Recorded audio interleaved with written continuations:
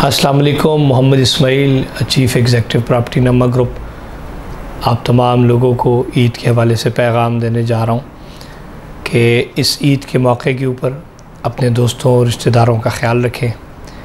ये जो आजकल रेस में और ज़िदबाजी में अच्छा बैल ख़रीदना और फिर महल्ले में उसकी प्रमोशन करना, ये प्रमोशन किसी मदनीती चीज़ की करें, क़ुरबानियों की ना करें, उसका सवाब नहीं आपको मिल सकता।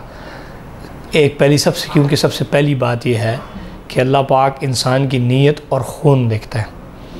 अगर एक बैल आपने दस लाख का लिया और आपका साथ पड़ोसी पूरा साल भूखा रहता है और गुर्बत और कसमपरी या कंपलसरी की ज़िंदगी गुजार रहा है तो ये बैल आपके लिए बायस अजाब हो जाएगा, बायस रहमत नहीं होगा।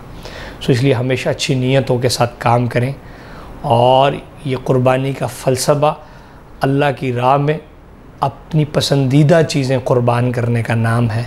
आपकी पसंदीदा चीज़ माल है तो माल अल्लाह के रस्ते में ख़र्च करें, गरीबों पे ख़र्च करें।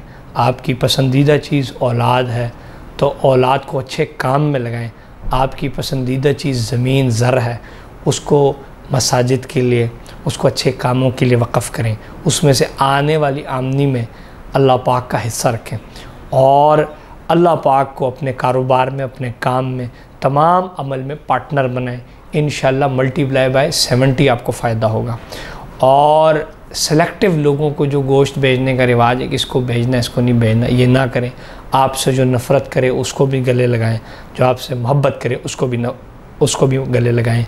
और इस कुर्बानी के मौके के ऊपर अपनी अना, अपनी ज़िद, अपनी बदमाशी, अपनी चौधराहट, अपनी जो मलकपन है, अपनी जो बदमाशी है, इसकी क़ुरबानी दें।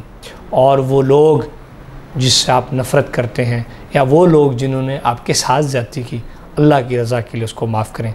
हजूर वसम का फ़रमान है कि जो शख्स किसी मुसलमान को माफ़ करे और उसकी इज़्ज़त में अगर कोई कमी आ जाए तो वो क़्यामत के दिन वो इज़्ज़त मेरे से अपनी इज़्ज़त ले लें। सो, जो इस्लामी असूल हैं, उसके ऊपर पाबंदी करें। रमज़ान में हम सिर्फ़ चौबीस घंटे सफ़ेद कपड़े, टोपी पहनी होती है हमने तो इस चीज़ का भी ख्याल रखें कि जो फ़रज़ हैं, उसमें कोताही ना करें। सिर्फ़ क़ुरबानी करना या सुन्नत या जो हज, जिस तरह हजाज कराम हज पे गए हैं, सिर्फ़ ये नहीं, इसके अलावा और भी जो अमल हैं, उसमें करें। और तमाम हजाज कराम से अपील है, रिक्वेस्ट है कि हम मुझे खसूस दुआओं में, हमारे इस कौम को, हमारे इस मुल्क को खसूस दुआओं में याद रखें। ईद के दिन लड़ाई झगड़े बहुत सारे होते हैं। सब्र से काम लें। एक जगह कुर्बानी हो रही है तो आप खैर है दूसरी जगह कर लें। ये छोटी मोटी चीज़ों के ऊपर लड़ाई होती हैं और ईद के दिन एक दूसरे को मार रहे होते हैं। लोग इस चीज़ से बचें। अल्लाह पाक से दुआ है कि अल्लाह पाक हम सब की हिफाजत करें।